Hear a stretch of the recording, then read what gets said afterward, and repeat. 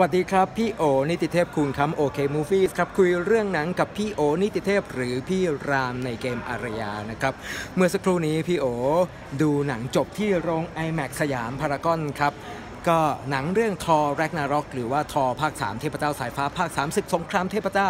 ภาคนี้สนุกสนานมากที่เมืองนอกเข้าฉายไปก่อนหน้านั้นแล้วนะครับ ในเว็บไซต์ IMDB เนี่ยเอ่อประชาชน 27,000 คนโหวตไปแล้วให้คะแนน 2 เต็ม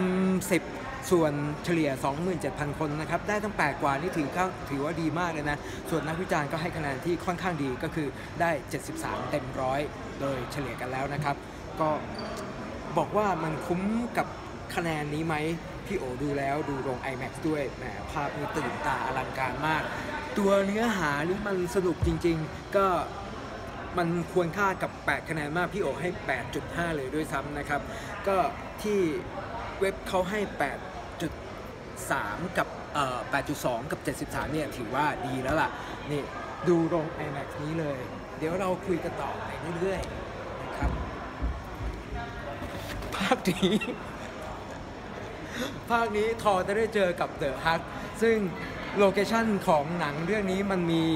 ทั้งดาวโลก ในดาวโลกเนี่ยเราก็จะเจอกับ Doctor Strange ซึ่งตอนจบของ Doctor Strange เราก็ได้เห็นแล้วว่าจอมเวทมหากาฬนะครับ ตอนท้ายเรื่องใน end credit เนี่ยจะมีเจอกับทอซึ่งพาโลกิลงมาที่โลก เพื่อตามหาพ่อโอดินซึ่งอยู่ที่โลกนะครับ ก็ ฉากนั้นจากภาพยนตร์เรื่องนั้นก็มาต่อเนื่องในภาพยนตร์เรื่องนี้ด้วยนะครับไม่ได้ทิ้งไปไหนไม่หายไป ซึ่งตรงนี้ไม่ใช่เป็นการ spoil เพราะว่าทุกคนน่าจะรู้กันหมดแล้ว ทุกคนรู้ว่ามี Doctor Strange รู้ว่ามี The Hulk รู้ว่ามีใครโผล่ตัวมาอีก เรื่องนี้จะมี Tessa Thompson มาเป็น Valkyrie ซึ่งเป็นชาวแอสการ์ดนะครับ เป็นผู้ช่วยคนหนึ่งรวมทีมของเขาก็เป็น 4 ทีมที่จะมาต่อสู้กับนางเอก มันประมาณนางเอกเลยนะ เป็นนางร้ายของเรื่องเนี่ย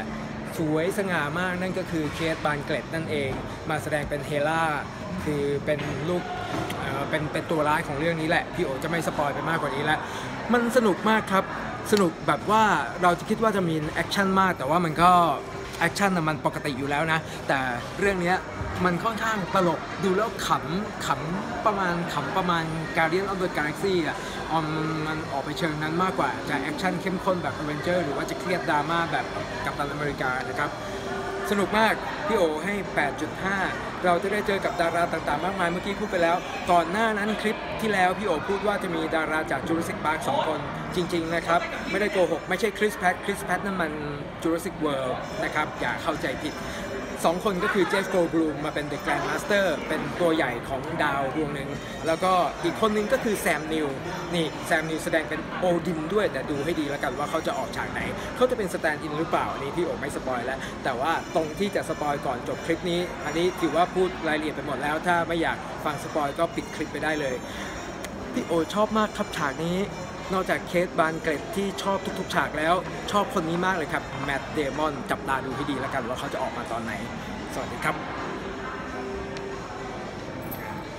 โอเคพวกพี่ครับเราอย่าลืม subscribe พี่โอ๋ด้วยนะ คุยเรื่องหนังกับพี่โอนิติเทพ YouTube ก็โอเคนิติเทพนะครับ พี่รามอารยาครับ อย่าลืมซื้อ